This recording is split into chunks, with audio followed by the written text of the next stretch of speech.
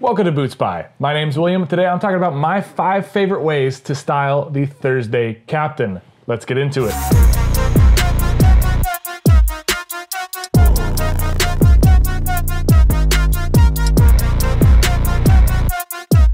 Guys, thank you so much for joining me. As I said today, we're talking about five ways to style the Thursday Captain. Now, this is one of my favorite boots. I'll be showing you five of my favorite ways to style it, um, what I wear with these boots, including the brands uh, and the different combos, things like that. I'm gonna have links to all these brands down in the description below. So if you wanna check out, uh, I'm gonna order it by outfit as well. So if you like anything you see, you should be able to find a link there really, really easily.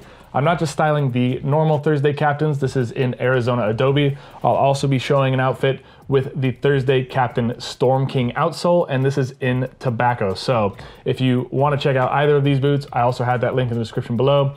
Without further ado, let's get into it. Outfit number one, all of this stuff is from a brand that I just discovered called L'Estrange London. So they do what's called a capsule wardrobe, and basically everything you get from them, you can mix and match uh, basically what you're seeing is a light blue Oxford with a blue overshirt and some gray chinos.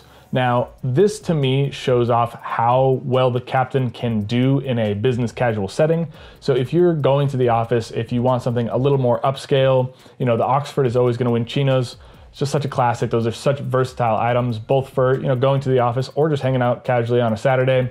But if you want to dress up a little bit, the Captain still works in that scenario because it is a slimmer, lower profile boot. Outfit number two, I'm going to be using the Tobacco Storm King outsole, and I'm pairing this with a few items from Taylor Stitch. I'm wearing the shop shirt and the chore pants.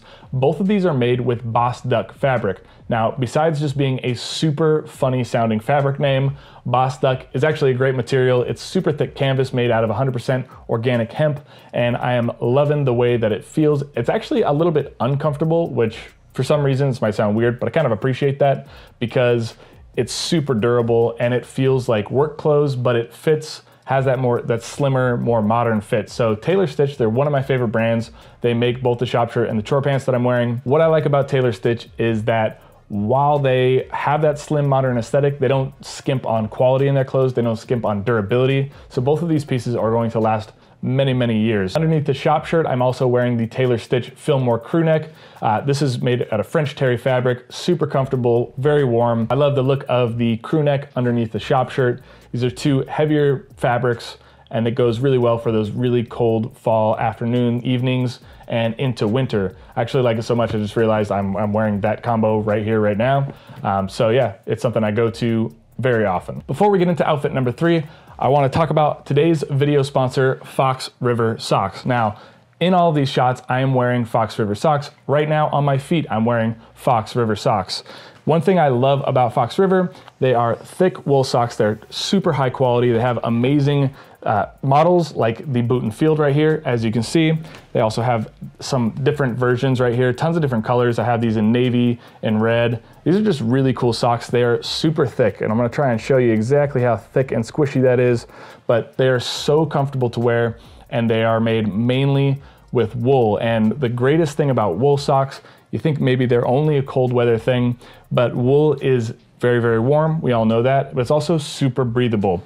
I never break in a pair of boots without wearing a thick pair of wool socks, and Fox River is my go-to.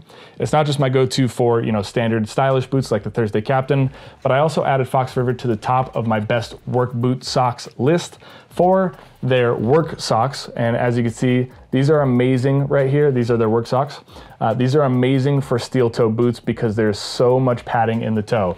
So if you wear a pair of steel toe boots or composite toe boots, and that yeah, yeah, big toe toenail starts getting sore after a while, definitely check out Fox River because the toes on these, they're fantastic, and the heel, tons of padding in those.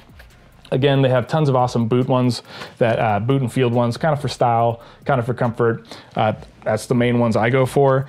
They also have great hiking and trekking socks as well, and I wear these sometimes in uh, warmer climates. You know, when it's like uh, early fall, late spring, it starts to get warmer. You don't want to have something that is super, super thick like a boot and field sock. You want something a little lighter. And then at that point, I'll go with their hiking and trek. So thank you to Fox River for supporting the channel, for sponsoring this video. I appreciate that. And I got a pair of Fox River socks on now, and I can't wait to bust into these. Moving on to outfit number three, this is something I'll put together very, very often. It's a very simple outfit, and I'm sure a lot of you guys are familiar or do something very similar to this. On the bottom, I got a simple pair of Gap jeans. Gap is one of my favorite places to go for jeans because typically they have some stretch in them, they're very comfortable, and I like the amount of taper that goes be below the knee. And I think just having a lot of taper works super well, especially with the Thursday Captain. You don't wanna have anything straight below the knee because it can kind of swallow the boot up. The Thursday Captain, it is a very, very slim boot. It has a very low profile, so if you're wearing something uh, with a wide cuff at the bottom, you know, it's gonna kind of just like swallow up the boot. You need to have some taper so you can kind of fit the uh, silhouette, the style. It just makes it look a lot better. On top of the Gap jeans, I have the Outerknown blanket shirt. This is one of my favorite. It's not really a, it's not really a flannel, but it kind of looks like a flannel. Basically, this is one of my favorite shirts. It's so soft, it's so comfortable. It fits well in the shoulders, it accentuates the shoulders, but it's very slim through the torso and the arms. So it basically looks super good. They have maybe 60 or 70 different colors, Outerknown. They have 60 or 70 different colors of the blanket shirt, so you're almost certain to find something that you like, I definitely recommend checking it out. Outfit number four, this one looks really, really cool with the Arizona Adobe Captains. Uh, this has a light denim shirt on top and then some olive chinos on the bottom. The chinos are from Taylor Stitch. I really like the way Taylor Stitch makes their, their pants, their chinos. They're a little bit long, so just note that. That's why I, you see me cuffing them twice. I'm actually six foot two and I still need to cuff these chinos twice. So if you are any shorter than six two uh, then you'll probably need to get them hemmed and you probably need to take some length off of that, or you can just like cuff it like me. Uh, so that's just something to note. But again, Taylor Stitch, they make really sturdy, solid clothes, and I love the amount of taper below the knee. Of course, the light denim wash shirt on top, love the faded look, and I love how all these colors go together really nicely to create a nice light look. It's not so dark, it's not so heavy, um, and this just does really well in spring and in early fall. And to close it out with one more cold weather look, I have a dark denim overshirt with a knitted sweater and a pair of skinny rag and bone jeans. Usually I don't wear skinny jeans, uh, but rag and bone, they just tend to, I got the slim fit, they just kind of tend to fit skinnier.